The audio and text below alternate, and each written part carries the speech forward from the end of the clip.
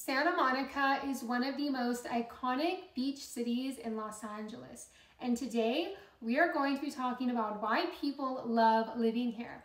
Hi guys, my name is Mona and I'm a real estate agent here in Los Angeles. In today's video, we are going to be talking about the city of Santa Monica and what it's like to live here, including the pros, the cons, and the real estate market.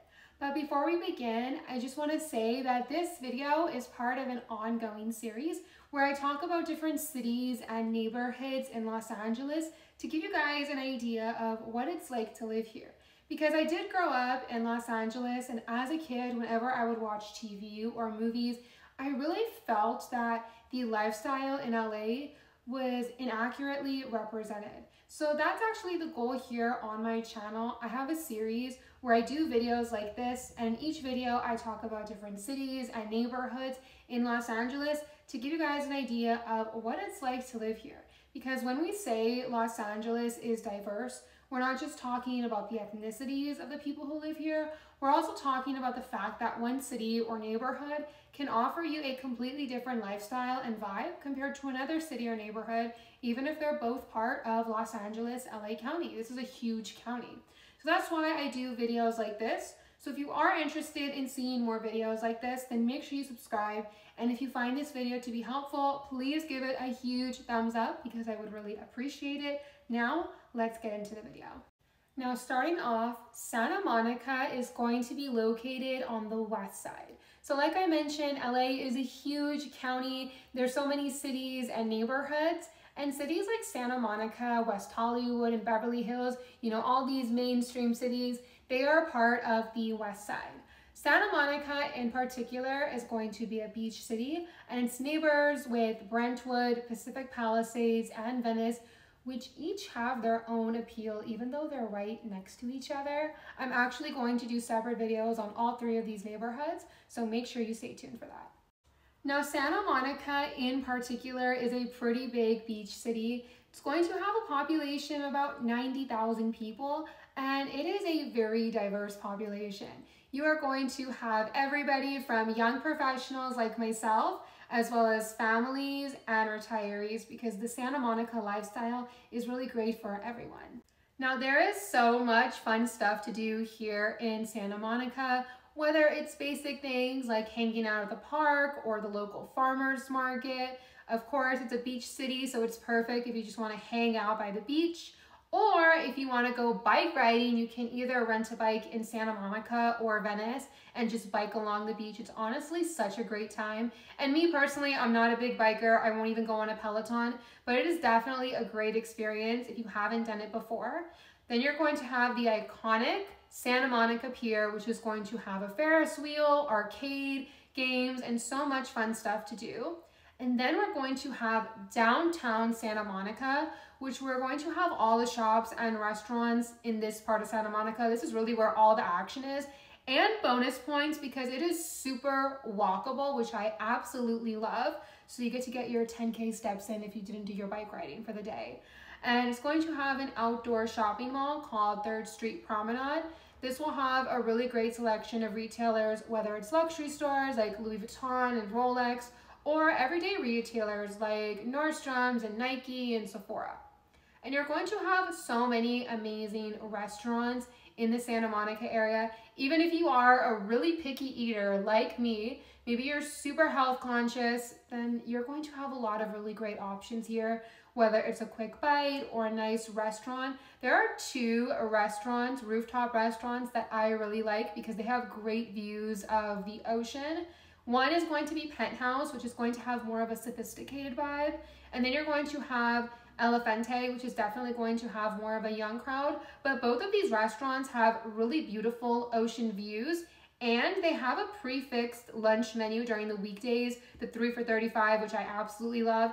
Although if you go to the penthouse and you add on stuff like steak fries, it's gonna be a bit more, but it's definitely worth it because I'm a big believer you get what you pay for, right?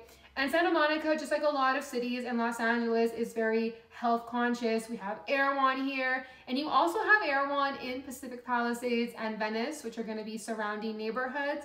You have a great selection of workout studios and gyms, like we have an Equinox here in Santa Monica. So whether you want to party and you want to go to all the fun lounges, bars, and restaurants, or you just want something more chill and low key, maybe you're a health and wellness girly like me, this is going to be perfect for you and there is so much stuff to do for everybody. Now you may be surprised to hear this, but Santa Monica actually has some really top rated schools. Whether it is public or private, it is going to be part of the Santa Monica and Malibu School District. Whether that is top rated elementary schools like Franklin Elementary, Canyon Elementary, Edison Elementary, as well as John Adams Middle School, Santa Monica High, and Santa Monica Community College. Now let's talk about the neighborhoods here in Santa Monica. Some iconic mentions are going to be Ocean Park, which is mainly going to be condos and they are walking distance to the beach, which is really ideal. You also have north of Montana, which is going to be the most prestigious neighborhood in Santa Monica. It's a lot closer to the Pacific Palisades it's going to be very residential and you're going to see the more expensive homes in this neighborhood. Then you are going to have Sunset Park, which is going to have a mixture of condos as well as single family homes and townhomes. And this is going to be a lot more family friendly. You're going to have the John Adams Middle School as well as Santa Monica Community College here. And you have some other neighborhoods in Santa Monica like Wilshire, Montana, Pico, and Mid-City. Now let's talk about the real estate market here in Santa Monica. More than 70% of the people who live here are actually going to be renters, whether they're renting an apartment or a home. However, Santa Monica is not the most residential city. Most of the homes on the market are going to be condos and townhomes. Actually, more than half of the homes on the market are going to be condos or townhomes. So it's definitely not going to be the most residential part of Los Angeles to live in.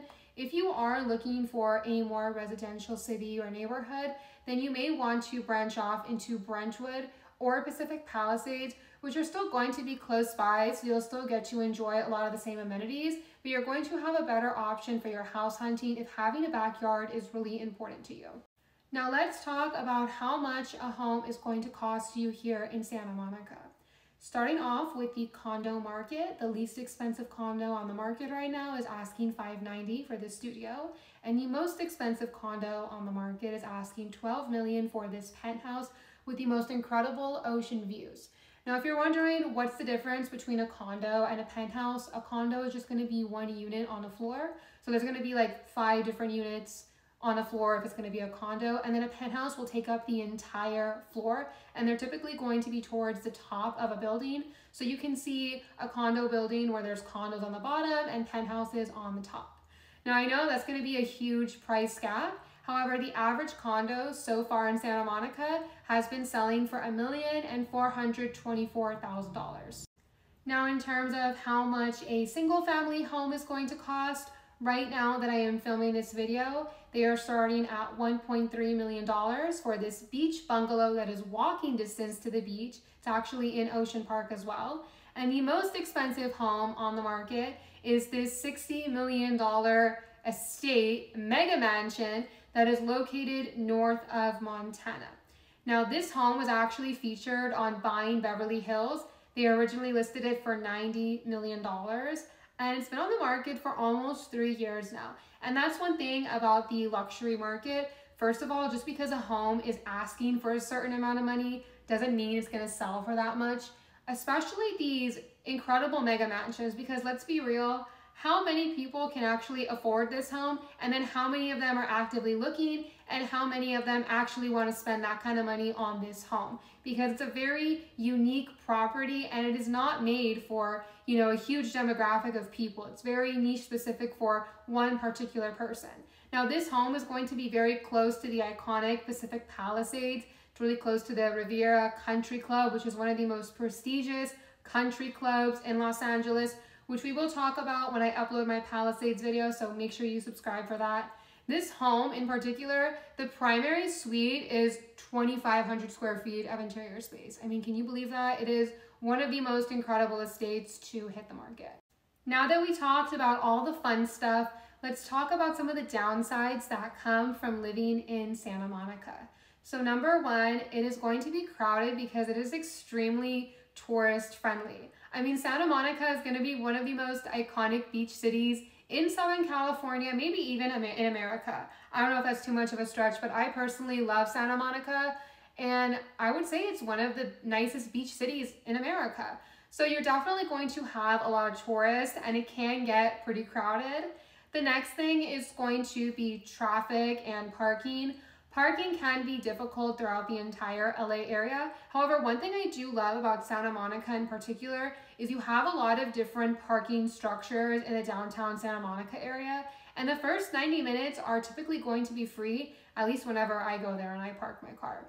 And then in terms of traffic, I mean, you're gonna have traffic pretty much everywhere in LA. However, I will say that the west side of LA, which is where Santa Monica is located, is going to be a bit more congested, especially if you're going to be commuting to areas like Beverly Hills and West Hollywood. It can get a bit hectic. However, that is to be said about a lot of these sought out cities and neighborhoods over on the west side because they're going to be more popular. They're going to attract a lot of tourists because there's so much fun stuff to do in these areas. And then lastly, you are going to have a homelessness problem, which you're going to have pretty much everywhere in Los Angeles. However, beach cities in particular, especially these tourist-friendly beach cities like Santa Monica, are going to attract a lot of homeless people. Now, I heard a little rumor that the Santa Monica police pushes them out to Venice. I kind of believe that. However, it's just a rumor, just off the record, even though I am uploading this on the internet for anybody to see. And then Santa Monica, just like a lot of parts of LA, can be expensive. Me personally, I don't like to say that something being expensive is a con. I mean, in this economy, breathing is expensive. And to say that it's expensive, I kind of feel that that goes without saying. I mean, it's Southern California, it's it's LA. That's like me saying the weather here is great. It's like, yeah, I know that. Like the, the sky is blue. What else is new, right?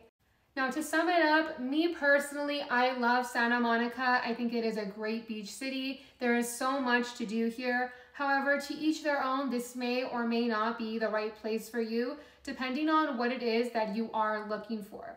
Me, myself, I am a local real estate agent in Los Angeles. So if you guys are thinking of moving out here and you're not sure what city or neighborhood is gonna be suitable for your lifestyle and your needs, then make sure you reach out to me. I do free one-on-one buyer consultations and they're all done online via Zoom.